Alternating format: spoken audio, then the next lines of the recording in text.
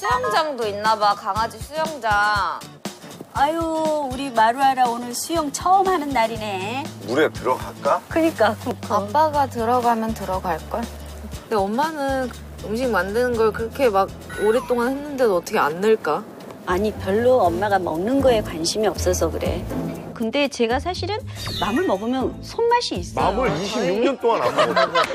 안 먹어, 안 먹어. 그 딸이면 이제 시집 가면 이제 저기 남편하고 이제 맛있는 거 해 먹으면 되는데 씨는 이제 계속 이제 이렇게 사셔야 되네.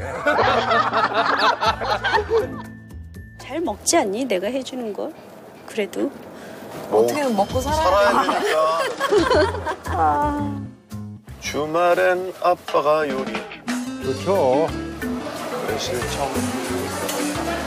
일단 필요한 것부터 사자고, 필요한 거. 근데 오늘 뭐 한다는 거였어? 바싹 불고기하고 또 뭐 하고? 골뱅이 무침이요.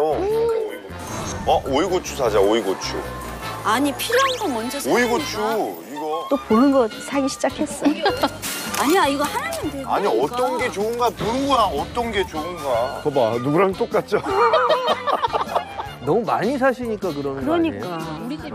아니, 저는 꼭 필요한 것만 사거든요, 가면은. 무로중어 하나만 사자, 무로중어. 무로중어를 왜 사? 왜 갑자기? 데쳐서 초고추장 찍어 먹는 거지. 아, 고기 안 샀잖아, 바보야. 불고기용 등심이 어떤 거예요? 불고기용이 어떤 거예요? 아, 말 좀 시키지 마. 불고기, 고기는 등심이 아니라고. 불고기용이 어떤 거예요? 등심이랑 불고기 못하죠? 불고기하고 등심하고 다르다니까.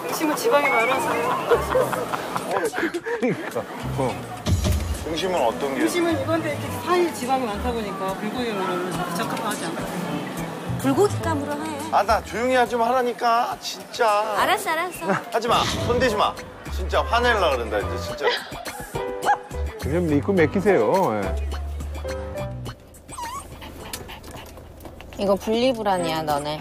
분리불안이야. 괜찮아. 강하게 키워야 돼. 쟤들 지금 우리 찾고 있는 거. 아빠처럼 엄마 막, 아빠가 어, 없어. 막, 어, 왜 그래, 왜 그래. 막 이렇게 하면 너네, 어? 내 꼴라. 나처럼 돼.